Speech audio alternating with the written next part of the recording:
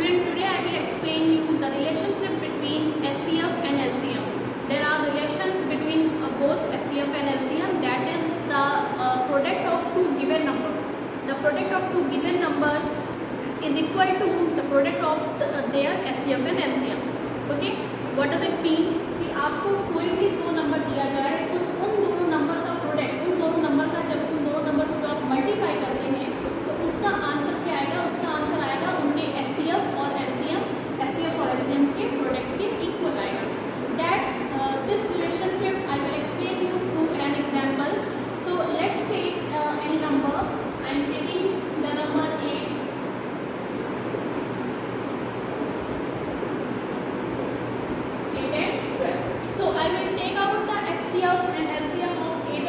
Then I will explain you the relationship between these two numbers.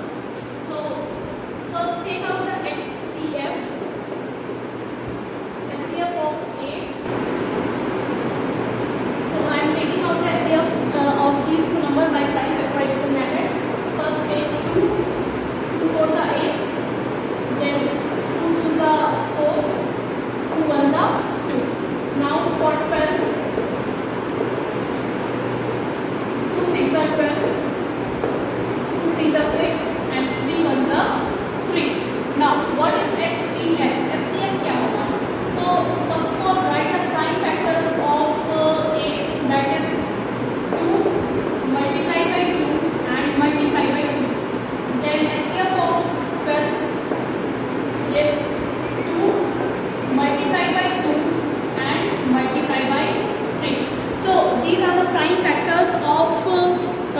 factorization of 8 and 12. Now what will be the HCF? HCF of any number will be that common factor.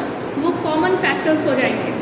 So here the common factors are 2 and 2. That is 2 multiplied by 2, it will be 4. 2 multiplied by 2 will be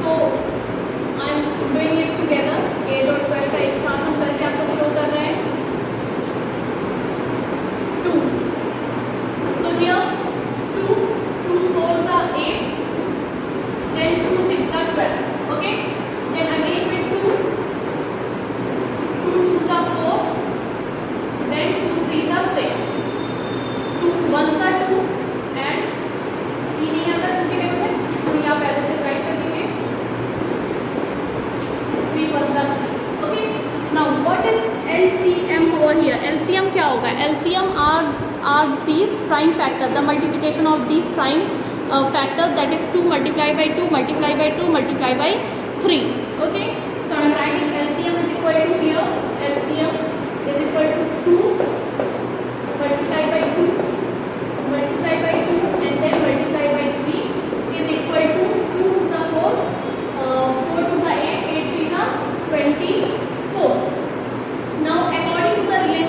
that is the HCF, uh, sorry, the, the, the relationship between the HCF and the LCM is equal.